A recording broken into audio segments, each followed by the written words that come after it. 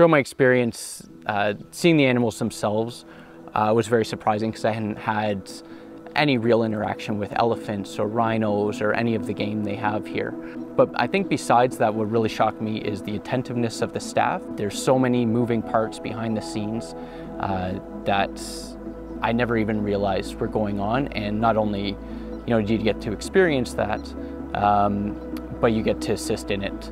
And I think just the, the warmness of the staff and how thankful they are for you to be here and to help out and to experience these animals as well has really been uh, something special.